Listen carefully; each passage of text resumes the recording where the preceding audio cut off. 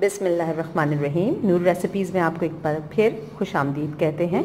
आज हम जो रेसिपी बनाने जा रहे हैं, वो है कराची का मशहूर चिकन पराठा रोल। जी होममेड आपको सिखाया जाएगा, ठीक है?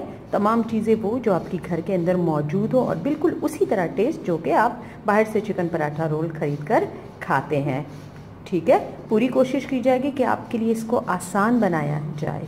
अच्छा तो इसके लिए जो इंग्रेडिएंट चाहिए वेरी सिंपल मैंने दो कप आटा लिया है घर का, अगर आप चाहे तो मैदा भी टोटल यूज़ कर सकते हैं, लेकिन मैं हेल्थ इश्यूज़ की वजह से कोशिश करती हूँ, जो घर का आम रूटीन का आटा होता है, उसी को मैंने लिया हुआ है। आधा टेबल स्पून मैंने चीनी ली हुई है, आधा टेबल स्पून मैंने नमक लिया हुआ है दो टेबलस्पून मैंने घी लिया हुआ है और ये नीम गर्म पानी। नीम गर्म पानी मैंने लिया हुआ है, ये गूंदते वक्त जितना हमें काम में आ जाएगा, उतना हम लोग यूज़ कर लेंगे। अच्छा अब मैं अपने तसले के अंदर तमाम चीज़ें शामिल करती चलूँगी। ये हमारे पास दो कप आटा, ठीक है? अब ये जो दो कप आटा हम लोगों ने शामिल किया है, इसके अंदर मैं थोड़ा सा ऐसा एक वेल बना लूँगी। इस वेल के अंदर आधा टीस्पून ये चीनी आधा टीस्पून नमक और मैं घी यूज़ कर रही हूँ दो टेबल स्पून अगर आप चाहे तो आप ऑयल भी यूज़ कर सकते हैं। अगर कोई हेल्थ इशू कुछ ऐसा प्रॉब्लम है तो वैसे नॉर्मली वो लोग बाहर ऑयल ही यूज़ करते हैं। मैं घी इसलिए यूज़ कर रही हूँ क्योंकि घी थोड़ा सा और इसे खस्ता बना देता है और पराठों के फ्लेवर को और भी बहुत ज़्यादा अच्छा कर देता है। ठीक है? ये घी वगैरह ये सब शामिल करने के बाद अब आप इसे इस तरह से एक साथ शामिल कर लीजिए। ठीक है?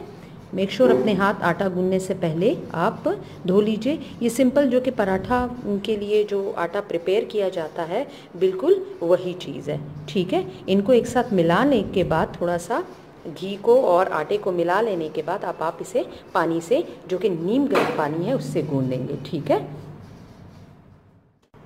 अब दो मिनट मुझे इसे गूंदते हुए हो गए थे। मेरे ये जो बर्तन में थोड़ा सा घी रह गया था, अब ये वाला घी मैं इसके ऊपर लगा दूँगी, बर्तन अच्छी तरह से साफ़ कर दूँगी और इसके साथ फिर थोड़ा सा मैं इसे गून लूँगी, ठीक है? देखिए ये इसके साथ अच्छी तरह से गूंद जाए, इसका मकसद ये है कि इसके ऊपर किसी किस्म की परत ना जमे, ठीक है? आप इस आटे को मेगे डाइट बर्तन में, ठीक है, रख दूँगी और आप इसे आधा घंटा 20 मिनट पैंतालीस मिनट रख सकते हैं, ठीक है? जितना ये रखा रहेगा, उतना ये और अच्छा सॉफ्ट हो जाएगा।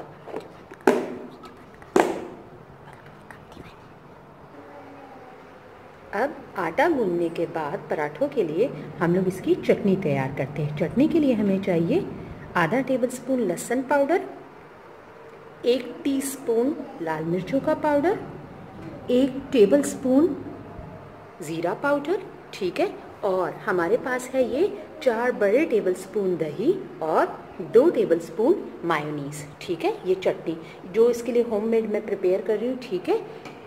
और होप करती हूँ कि आपको ये चटनी इसके साथ बेहद पसंद आएगी, ठीक है? अब इन सब चीज़ों को एक साथ मिक्स कर लीजिए, दही मायनीस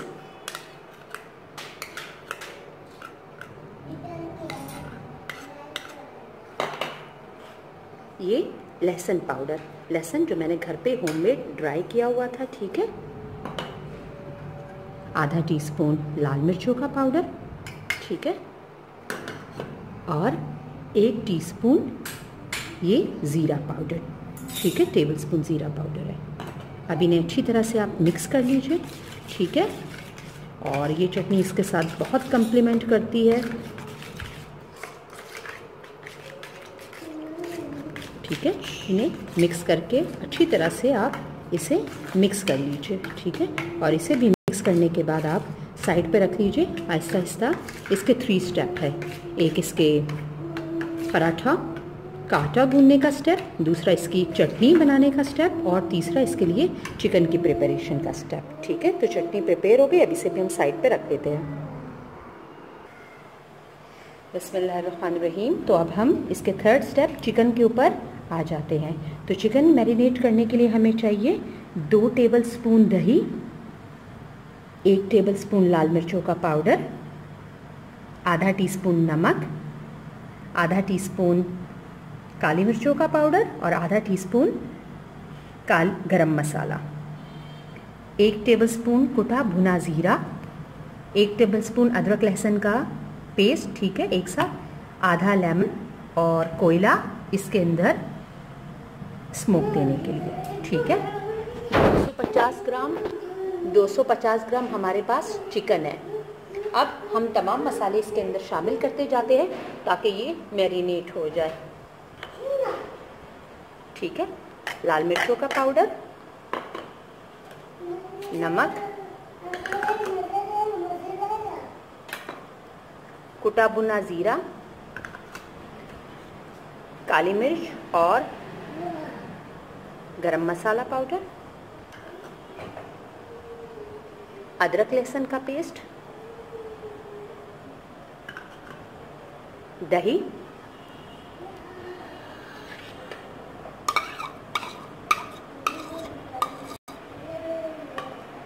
एक हाफ़ नमक, लेमन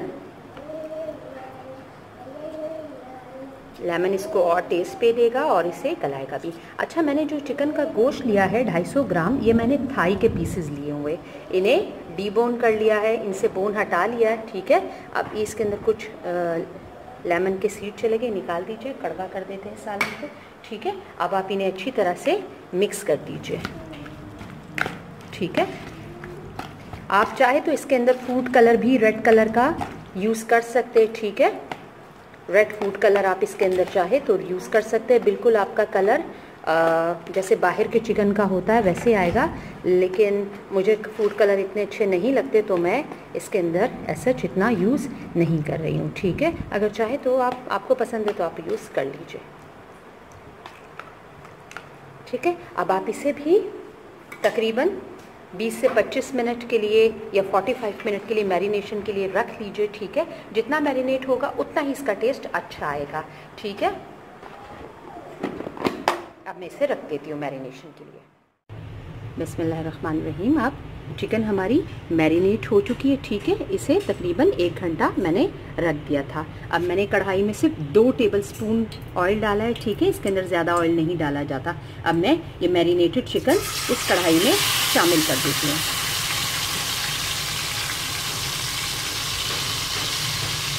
तमाम मसाला अच्छी तरह से आप इस स्पेशला की मदद से इसके अंदर डाल दीजिए, ठीक है?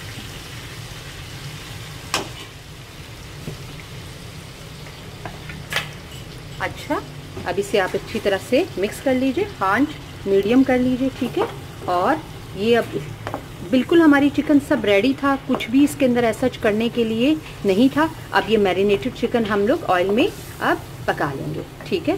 थाई का गोश्त है तो बनेगा तो सॉफ्ट ही होगा। अगर आपको सीने का गोश्त पसंद है, ठीक है तो आप शामिल कर सकते हैं, लेकिन मोस्टली जो बाहर मिलता है, वो लोग, उनका चिकन इतना सॉफ्ट क्यों होता है? एक तो मैरिनेशन बहुत अच्छी हुई होती है और दूसरा वो थाई का गोश्त होता है, इसलिए वो बहुत ज़्यादा सॉफ्ट होता है। अब मैं इसे भून लूँगी पका लूँगी, ठीक है चिकन को, और यहाँ मैंने कोयले कोयले का एक पीस मैंने रखा हुआ है, ठीक है, गर्म होने के लिए, ताकि जब चिकन बन जाए तो मैं इसके अंदर कोयले का दम दूँगी।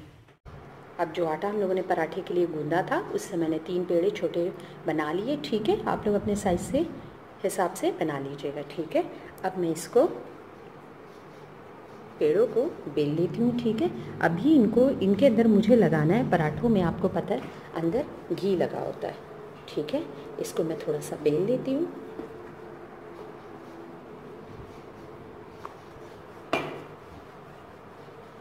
अभी भी जो आटा हम लोगों ने गूंदा था, उसमें तकरीबन दो और मज़ीद पराठे बन सकते हैं। अगर आप इसे थोड़े से और छोटे बनाएँगे तो आपके छः पराठे बन जाएँगे। मैंने पेड़े थोड़े से ज़रा बड़े लिए हुए हैं। ठीक है? तो इसको अब हम इस तरह से बेल लेते हैं।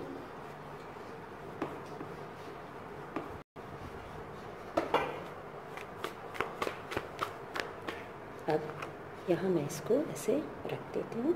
अब हम इसके अंदर घी लगाएँगे। ठीक है? आप ऑयल भी लगाना चाहे तो आप ऑयल भी लगा सकते हैं। ठीक है? घी मैं इसके ऊपर स्प्रेड कर देती हूँ। ये घी ही इसकी परतों को इंतहा, खस्ता बनाएगा और इसका टेस्ट बहुत ज़्यादा अच्छा होगा। थोड़ा सा सूखा आटा भी आप इसके अंदर शामिल कर लीजिए। सही है? अब हम इसे एक साइड से, ठीक है? यूँ काट लेंगे। जैसे नॉर्मली घर के पराठे होते हैं, ठीक है? और अब इन्हें रोल करना हम स्टार्ट कर देंगे। ठीक है? मेक श्योर कीजिए कि इसके अंदर कोई गैप ना रहे। मैं पूरी कोशिश करूँगी कि आपको अच्छी तरह से ये दिखे, ठीक है? ये जो आखिरी सिरा है, इसको आप थोड़ा सा खींच कर यूँ नीचे की तरफ़ अंदर से, ताकि ये खुले ना, ठीक है? सही है? अंदर की तरफ़ कर दीजिएगा। अब इसे प्रेस करके यूँ रख दीजिए। अब इस तरह से मैं बाकी दो पराठे भी बना लूँगी। सही है?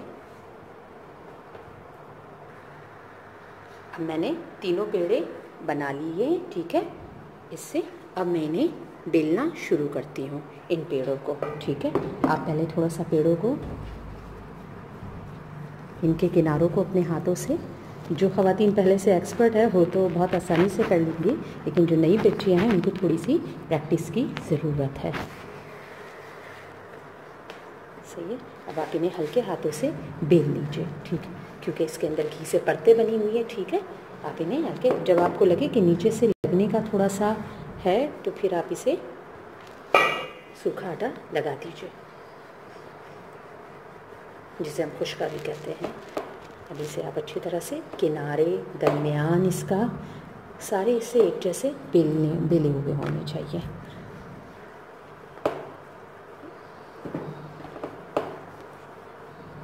ठीक है? मैं एक दफ़ा और इसे कर लूँगी, ठीक है?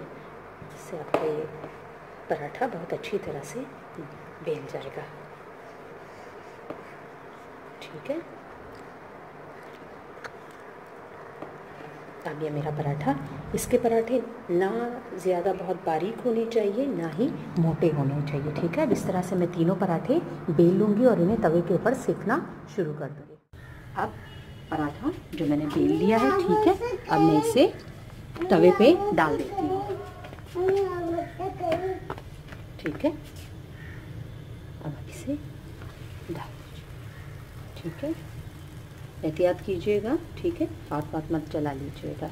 सही है? अब ये जैसे ही थोड़ा सा इसके मिनट पराठा डालने से पहले या रोटी बनाने से पहले, तवा अच्छी तरह से गर्म होना चाहिए। ये बात अपने जहन में रख लीजिए, ठीक है? तवे को अच्छी तरह से गर्म कीजिएगा।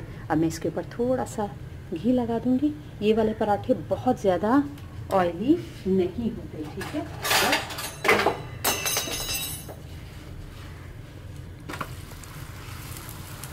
ठीक है? आँच अब मैं अपनी कम कर देती हूँ, ठीक है? सही है? पराठे को आप मुसलसल अपने चम्मच से हिलाते रहिए, ठीक है? सही है? एक साइड जब हो जाएगी, तब हम दूसरी साइड करेंगे इसकी।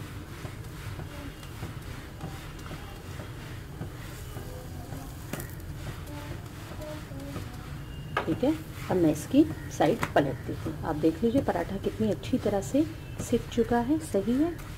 अब इसी तरह से मैं बाकी दो पराठे भी सेक लूँगी।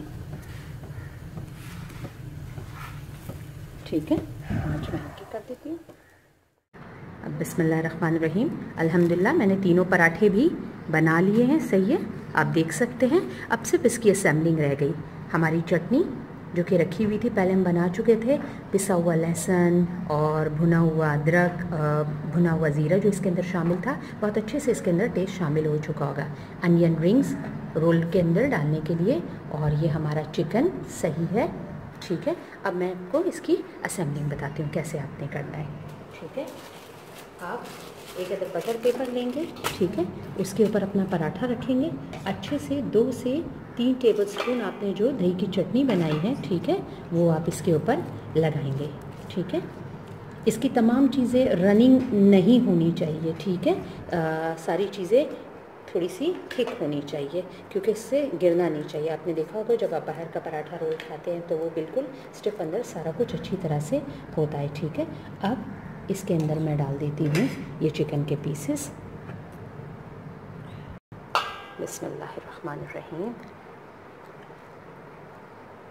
है और ये थाई का चिकन है तो ये बहुत ज़्यादा नरम होगा, ठीक है? सही है। अब मैं इसे अनियन रिंग से डेकोरेट कर देती हूँ, ठीक है? इसके अंदर सिर्फ़ अनियन रिंग होते हैं, आप लोगों ने बाहर जो खाया होगा तो देखा होगा कि और कुछ इसके अंदर ऐसा नहीं भरा जाता, सिर्फ़ अनियन रिंग, ठीक है? सही? अब मैं इसे बंद कर देती हूँ। ठीक है? आप जब इसे बंद करें, ठीक है? तो यहाँ से पहले इस पराठे को रखिए, ठीक है? और फिर इसे आप बन के ये वाला मैंने थोड़ा सा बड़ा बनाया था, ठीक है? आप इसे बटर पेपर के अंदर रैप भी कर सकते हैं। अल्हम्दुलिल्लाह, हमारे चिकन रोल बनकर रेडी हो चुके हैं, ठीक है? आप इसे देख सकते हैं, ठीक है? मैंने इसे बटर पेपर में भी रैप कर लिया है। ये इसके साथ जो यही इसकी दही की चटनी थी मायोनीज़ के साथ, और ये थोड़ा सा चिली गार्लिक सॉस अगर आपको पसंद हो, ठीक है? उम्मीद करती हूँ कि आपको ये रेसिपी पसंद आई होगी। हमारी मेहनत को सराइएगा मेरी रेसिपी पे कमेंट भी कीजिएगा, इसे शेयर भी कीजिएगा, और रेसिपी पसंद आए तो मेरे चैनल को सब्सक्राइब भी ज़रूर भी। कीजिएगा। ठीक है? जाते जाते वक्त आपसे एक अच्छी सी बात कर सकूँ? ज़िंदगी में दूसरों के लिए आसानी का सबब बने और आसानियाँ बांटिए। क्योंकि ये आसानी एक ऐसी चीज़ है, ये किसी नेकी से कम नहीं है। आपके लिए शायद वो चीज़ कोई मायने ना रखती हो, लेकिन दूसरे के लिए वो बहुत मायने रखती है। इसके साथ ही आपसे इजाज़त चाहूँगी। अल्लाह हाफिज़।